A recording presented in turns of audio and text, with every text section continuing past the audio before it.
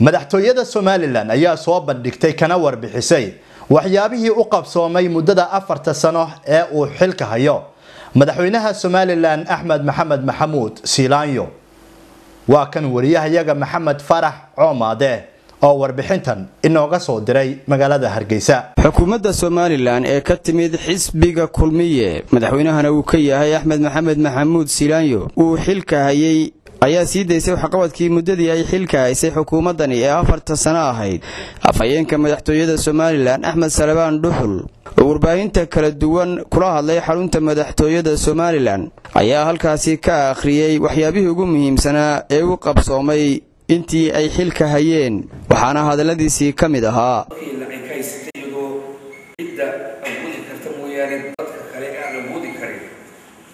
dhibaato fara badan ay ka soo gaadhsay sidii wax looga qaban lahaa. Waxaa xukuumaddani markaa ay keentay toddoba mishiin oo ah mishiinada keliyaha lagu sifeeyo waxa ay keentay oo kale qalab kale oo caawiya hawshaasi oo wax weyn ka taraya dhinaca caafimaadka. Xukuumaddu waxay kordhisay shaqaalihii hore uga hawlgeli jiray goobaha caafimaadka ee dalka oo ahaa markii hore kun iyo saddex boqol iyo afar toddobaatan. Waxaa xukuumaddu ay ka dhigtay muddada afarta sano ay ku kordhisay laba kun shan boqol iyo sagaal iyo konton shaqaalaha oo goobaha caafimaadka ka shaqeeya. Meel war iyo goob kasta oo dale ka mid ah hayadiisa kala duwan waxaad dareemi kartaa farqiga weyn ee xukuumaddani ay ku kordhisay marka la eego wixii oran jiray iyo waxa inoo qabsoomay cadaaladda iyo garsoorka cadaaladdu waxay ka mid tahay waxyaabaha ugu muhiimsan marka la eegayo dhismaha bulsho iyo mid garanba dhismaha cadaaladda oo dastuurka si cad ugu tilmaaman waxa xukuumaddani markii ay timid ay ahayd cadaaladdu meelaha loogu hadala inta badan yahay waxka qabashadeeduna ay laga maarmaan u ahayd dhismaha garab waana xukuumaddani oo taasigu ay si mugle dib u eegis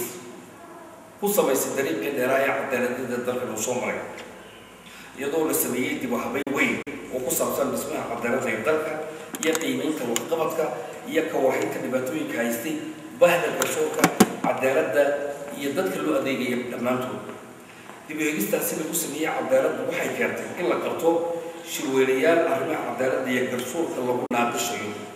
Waxaa ka soo baxay qaab iyo habab loo waajahayo nidaamka cadaaladda iyo garsoorka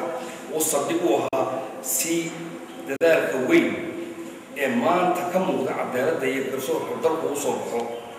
Waxaa la tababaray dhammaanba hawlwadeennada cadaaladda. Waxaa la qoray garsoorayaal iyo hawlwadeenno cusub oo la biday aqoontooda cadaaladeed inay noqon karayso mid wax ka tarsa arrimaha cadaaladda iyo garsoorka iyadoo sida wanaagsan looga faa'iidaysanayo